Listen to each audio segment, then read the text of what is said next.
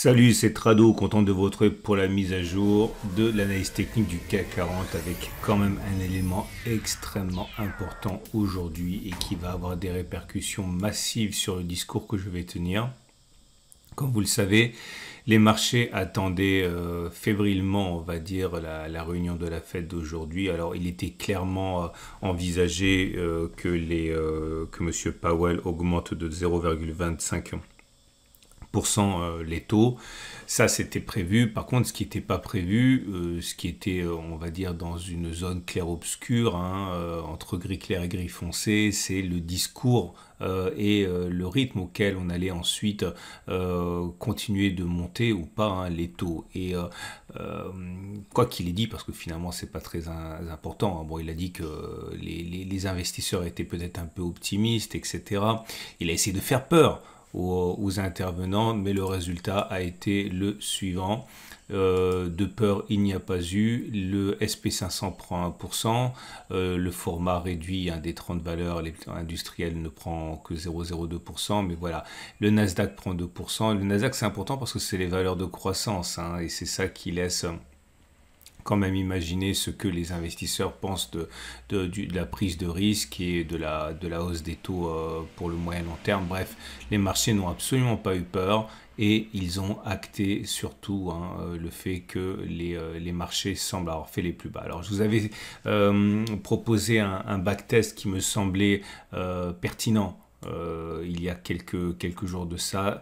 J'avais dit que euh, le juge de paix qui me semblait euh, à suivre pour les prochaines euh, semaines serait le croisement M50-M200 du SP500 et je pense que c'est pour demain hein, puisque bon à moins que l'on s'effondre et je vois pas comment à l'espace d'une séance ou de deux séances on pourrait faire que la M50 descendrait ça voudrait dire une baisse assez assez imprévisible et incompréhensible au regard du contexte actuel donc à moins qu'il y ait je sais pas des, des des, soubresauts au niveau du conflit euh, euh, en Ukraine, etc. Je ne vois pas comment on pourrait éviter le croisement M50-M200.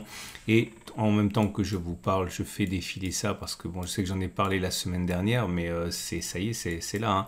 Donc et voilà ce qu'on avait testé. Hein. On avait regardé les croisements M50-M200, donc la fameuse croix dorée et on regarde la différence qu'il y a, la distance qu'il y a entre le moment du croisement et le précédent creux, hein, donc les plus bas du, euh, du bear market. Donc c'était le, croisement a eu lieu sur cette bougie. On prend les plus bas, c'est 13%, et j'ai mis deux pouces verts parce qu'on voit qu'on a fait au moins une fois euh, et même deux fois euh, la distance au précédent plus bas. on a fait même beaucoup plus. Hein. Regardez, on a fait Bon, je m'arrête ici, mais on a fait plus de 40%. Et c'est pour ça qu'il y a deux pouces verts. C'était ma façon de dire que, un, il était très plausible que l'on fasse encore la même distance vers le bas, euh, du, point de contact vers le bas, vers, euh, mais cette fois-ci vers le haut, voire deux fois. Et pour moi, c'est synonyme que le plus bas a été fait. Quoi. Et là, vous avez deux pouces rouges parce que c'est un des cas où ça n'a pas fonctionné. Vous voyez, le croisement a lieu sur cette bougie ici.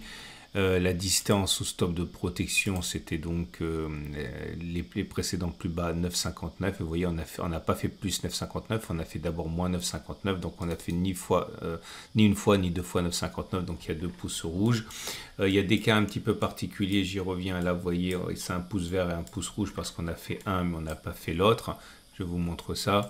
la distance au stop de protection c'était, ça s'est pas joué à grand chose, hein, mais vous voyez, on a fait, fallait pas faire 17,03, on a fait 20, donc ça c'est bon, mais par contre on n'a pas fait deux fois la distance au stop de protection, puisqu'après on est venu déclencher le stop, donc c'est un pouce vert et un pouce rouge, et là il n'y a qu'un seul pouce vert, parce qu'en fait on a fait une fois la distance au, au, stop de protection, mais on n'a pas fait deux fois, mais on n'a pas non plus invalidé. Regardez ici, l'idée c'est que, ah, vous entendez le bruit derrière? Voilà, ça, ce sont des, des cacatoès. Ok, c'est très sympa, ça fait des bruits de singe. Et euh, donc, euh, euh, la distance, c'était 30-46. Est-ce qu'on a fait plus 30-46 ou on a fait 52, vous voyez? Mais on a fait une fois, mais on n'a pas encore fait deux fois, mais on n'a pas non plus déclenché le stop de protection. Donc, il y a, une occurrence de moins, on ne sait pas ce qui va se passer. Hein.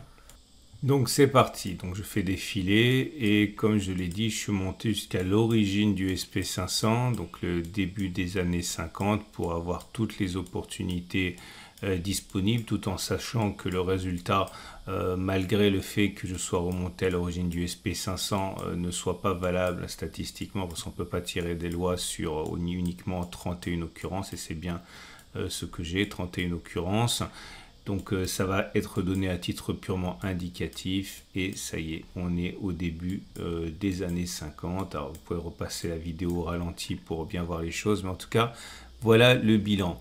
Euh, sur les 31 occurrences que l'on a eues, eh bien dans 25 cas, on a fait au moins une fois la distance au stop de protection. Et dans 6 cas, on ne l'a pas fait. On est revenu sur le plus bas avant d'aller vers le haut.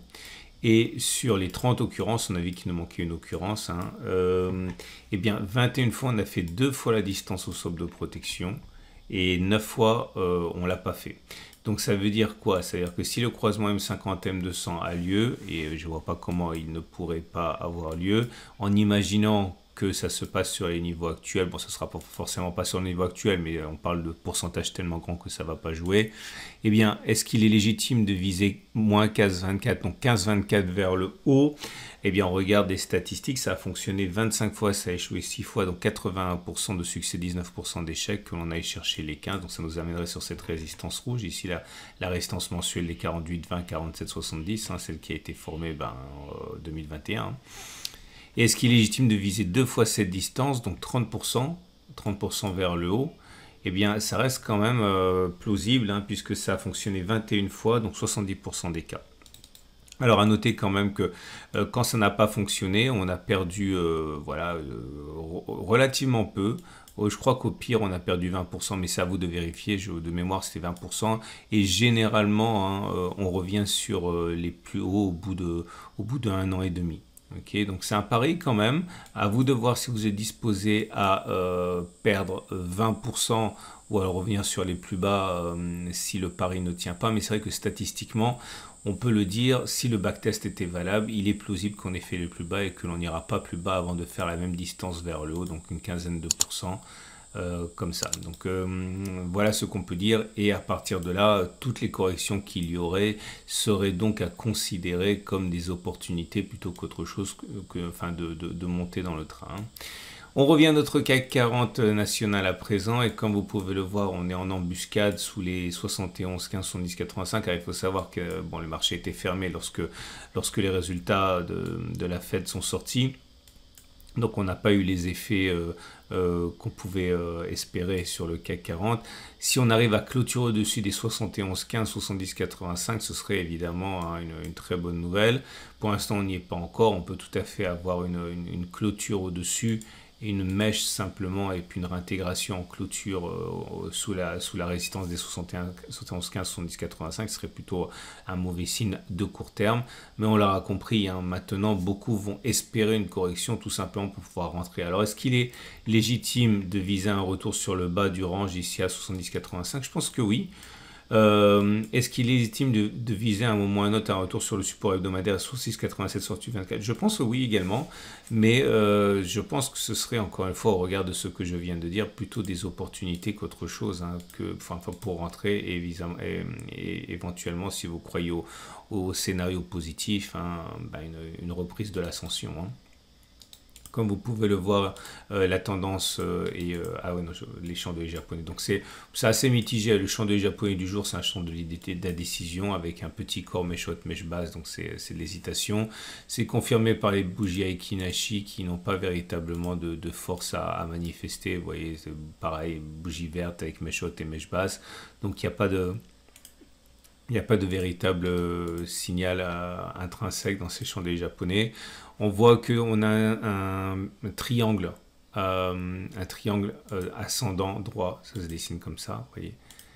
Il faut savoir que ça, ça se casse plus souvent par le haut que par le bas. Alors l'avantage surtout quand ça se, ça se produira, c'est qu'on a les objectifs hein, qui sont faciles à déterminer. Statistiquement, on prend la hauteur des oscillations. Donc premier objectif, aller chercher cet objectif-là.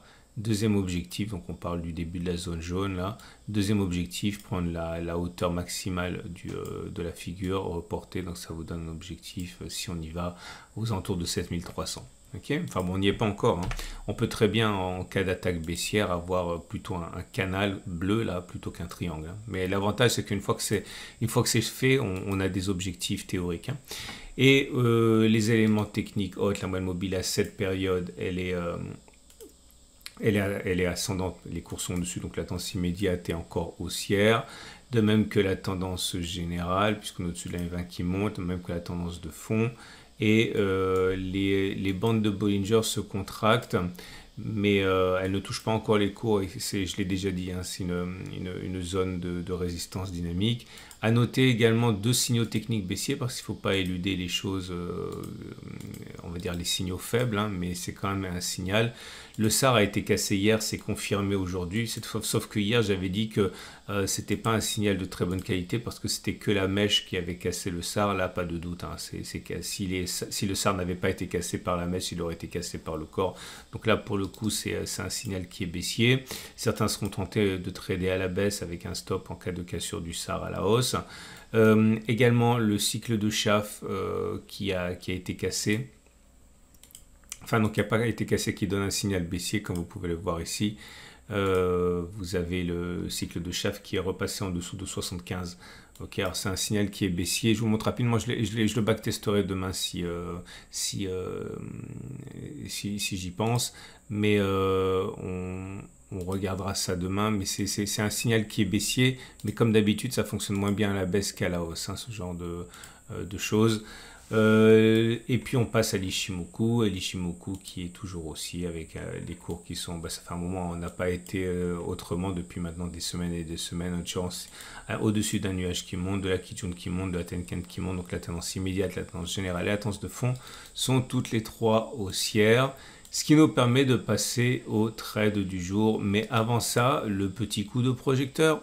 Et le petit coup de projecteur, c'est quelque chose que j'aimerais beaucoup que vous considériez. C'est euh, aller regarder mes podcasts. Alors vous le savez, j'ai podcasté beaucoup de mes pairs. Beaucoup d'entre eux sont des copains. Vous reconnaissez des têtes qui vous sont sans doute familières, soit parce qu'ils passent sur des, les grands médias nationaux euh, comme euh, Alexandre Baradez qui, passe très régulièrement sur BFM. de même, bon, vous avez les têtes, hein, Vincent Van Gann, Stéphane Saudutet et puis des, stars euh, de, l'Internet, hein, du, du, trading particulier. Bon, vous voyez encore une fois euh, des têtes que vous reconnaissez ici. Euh,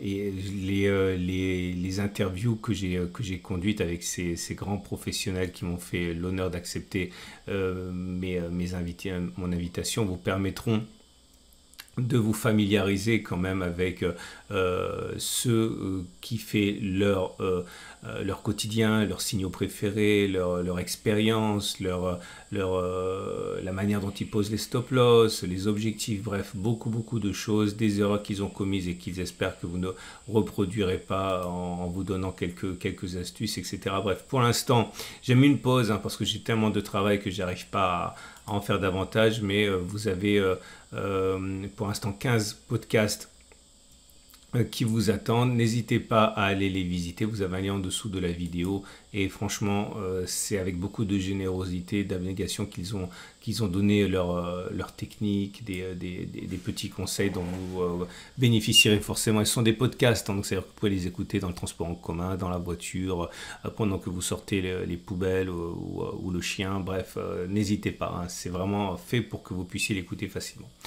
On passe au trade du jour et euh, les voilà. Donc si vous êtes baissier, vous pouvez trader l'histoire du SAR. Hein. Donc euh, mettre un, stop de protection au-dessus de la zone orange. Voilà, parce que là maintenant finalement on a quand même intégré beaucoup de bonnes nouvelles. Peut-être qu'on euh, va faire une pause, j'en sais rien. Mais en tout cas si vous avez un biais qui est baissier, stop de protection au-dessus de la zone, pareil sur un retour de la zone sur le bas de la zone bleue, avec un ratio gain-risque supérieur à 1, ça peut se tenter. Si vous avez un biais qui est haussier, eh bien, vous avez plusieurs solutions. Hein. Euh, la première des solutions, c'est acheter tout de suite en pensant que ça y est, c'est terminé, on n'ira plus chercher le précédent creux ici. Vous mettez un stop de protection en dessous du précédent plus bas, par exemple à, à 2%, et vous visez, euh, ben, vous visez plus. Vous pouvez également prendre un, un trade beaucoup plus ambitieux dans le temps, attendre, mettre un stop de protection pour pas 6%, se dire qu'au pire on n'ira pas en dessous de 6-7% et viser 15% puisqu'on a vu qu'il était plausible que l'on aille chercher la même distance vers, le haut que la distance qui nous sépare au plus bas. Vous pouvez faire, attention à trader avec des, outils euh, adaptés quand même. Euh, et puis si vous voulez également être patient, eh bien pariez éventuellement sur le fait que l'on descendra d'abord, euh, ici, mettre un stop de protection là euh, et soigner euh, son entrée pour parier sur le fait que l'on retournera sur des sommets. Voilà, beaucoup de choses à faire. Quant à moi, vous le savez, ça ça se passe pas de la meilleure des façons pour mon deuxième trade de l'année. Euh, pour l'instant, comme vous le savez également, j'ai rentré une demi-position, un demi-risque euh, ici environ. Euh, j'ai un stop de protection au cas où je clôture, on clôturerait significativement au-dessus de la zone orange. Si c'est le cas, eh bien, je perdrai 0,25% de mon capital. On verra. Pour l'instant, j'avais dit que je rentrerai ma deuxième demi-position, que je renforcerai sur un bon signal. J'ai pas de quoi pour l'instant renforcer, donc pour l'instant, je ne change rien. Voilà. À demain pour la mise à jour et pensez à envisager les, podcasts, qui vous apporteront euh, beaucoup d'informations euh, dans votre parcours initiatique.